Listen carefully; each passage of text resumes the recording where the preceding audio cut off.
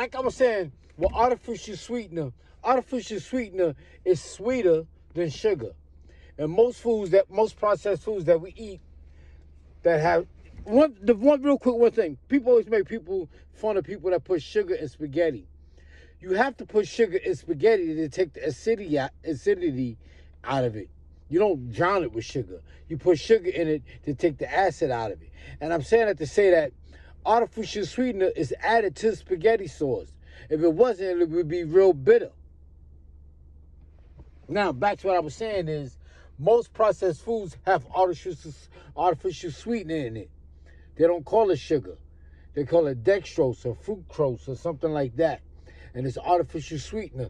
And a lot of times, these artificial sweeteners are made in laboratories.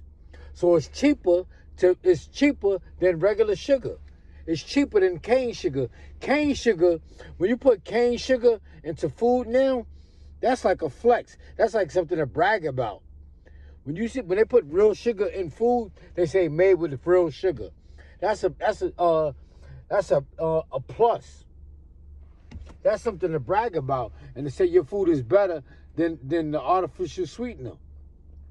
But back to what I was saying is, all these foods got art like when you drinking juices and sodas and all that shit, that's got artificial sweetener in it. Like the other day, a friend of mine was drinking Tropicana juice, but it said made from concentrate. And I was telling him, concentrate, when it said concentrate, that generally means they use the peels. They don't use the fruit. They use the peels to make the juice. They use the peels and then they add sugar, water, and sweetener to it but it's not the pulp of the fruit. It's not the pulp of the orange. It's made from the peels. But now I'm saying artificial sweetener reminds me of sneakers. Because you got all these sneakers out here. They got all these anything you can think of, they can make a sneaker out of it. They can make a style of it. And these sneakers are not made with real leather anymore. And they're made with cheap rubber and recycled plastic and people are paying tons of money for some bullshit sneakers. Sneakers be bullshit. And guys be thinking they doing something because they got sneakers. They fucking sneakers.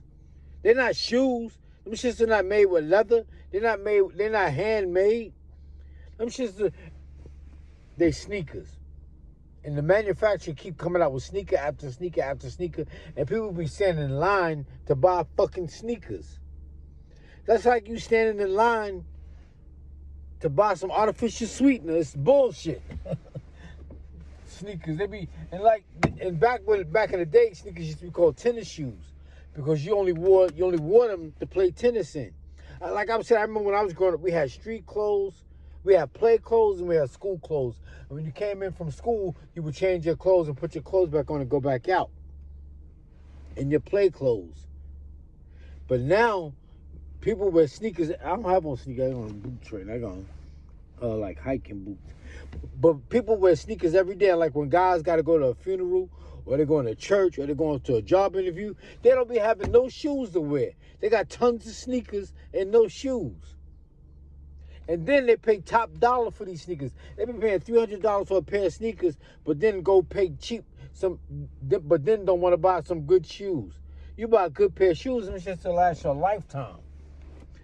But uh, oh, and one more thing. God was talking about uh, sagging. Sagging jeans did not start in jail.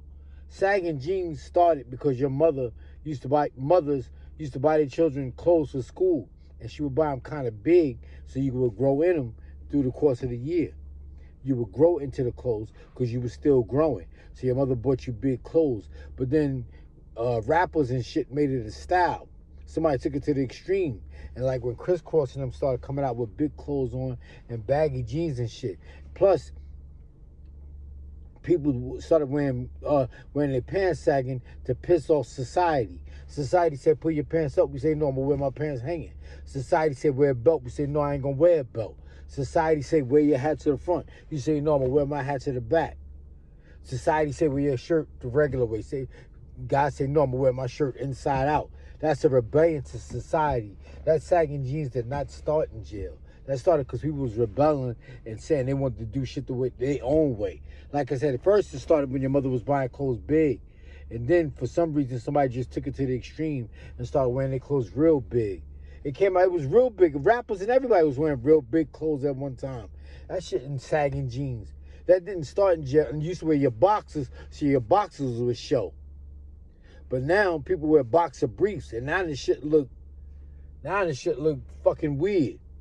You know, you wearing your pants sagging with boxer briefs all, and you can see the crack of your ass, your butt print and shit. That shit look weird as fuck.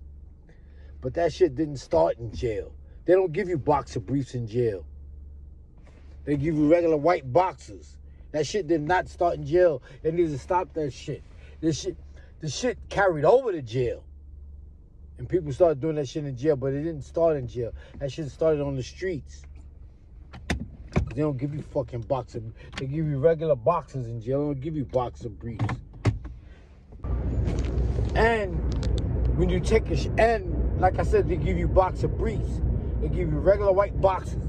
In jail, they give you white boxes, two pair of boxes, two pair of socks, two t-shirt, and shit like that. And when you take a shower, you're supposed to take a shower in your boxes. You don't take a shower naked in jail. You take the shit in your fucking box. You leave your boxes on. You just wash your ass and you wash your shit in in your fucking underwear. You don't take the boxes off. Sagging jeans did not start in jail. Sagging jeans started in the street. Like I said, it was a, a it was a uh, it was a, a um a rebellion against society. That's what that shit was. But then, and like sneakers, sneakers became a style.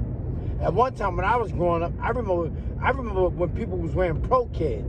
We was wearing canvas Converse, the white Converse with the stars, and then they started coming out with different flavor Converse, and that was the style. But then Pro Keds came out, and everybody everybody in the projects was wearing Pro Keds.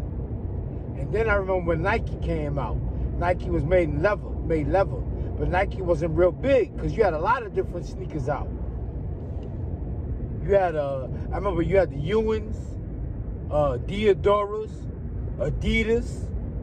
That's what, then sneakers, then post. we used to buy uh, sneaker posters. That was real big on 125th Street. And they didn't have, they only had Dr. J's and they had a, a Korean store. It was a no-name Korean store that used to look like a warehouse. And that's when everybody, but sneakers really wasn't big. Everybody was still wearing British Walkers and uh, British Walkers and um, Playboys. Everybody was wearing British Walkers and Playboys. Sneakers wasn't real big back then. It ain't like it is now. And I remember, I remember twenty dollars would buy you a good pair of sneakers. Nineteen ninety nine. That's how much we used to pay for our sneakers. And it, it wasn't all about. I remember it wasn't all about having a lot of pair of sneakers back then, because guys was still wearing shoes. They was wearing Playboys. Uh, what else they was wearing? Playboys, British Walkers, and like they had they had shoe stores on 125th Street back then, because people was wearing shoes. But like I said, then the big then the big rush came with sneakers, with the Jordans and shit. And I remember the first pair of Jordans was sixty dollars, that was a lot of money back then. Sixty dollars for a pair of Jordans. But sneakers wasn't real big back then. Sneakers, when I was growing up, it was all about shoes. Everybody was wearing shoes. Playboys and them fucking uh, British Walkers. And everybody had, and most of the guys had had British Walkers in different colors, shit like that. Then now, but now the black man is dressed for recreation. We always dress like we're ready to run, jump, dance, or play at any given time. Everything we wear is geared towards recre- recreation, to play. That's why. That's how sneakers became real big. Because I remember growing up, we used to iron our blue jeans. We used to iron the shit of our blue jeans. And people used to, and some people used to put their blue jeans in the cleaners and get a permanent crease put in them. Because we used to iron, we used to iron the shit out of our jeans. Iron, you could iron your jeans so you could iron your jeans and stand them shits up in the corner. They had so much starch in them back then when I was growing up. But sagging jeans did not start in jail. Sagging jeans started in the street. And we and then people just stopped ironing their clothes. Just fold them shits up and put them on like they come out the dryer. But back in the day, you used to iron our jeans. We used to iron everything. Everything had a, had a fucking crease in it. Had a crease going down the sleeve.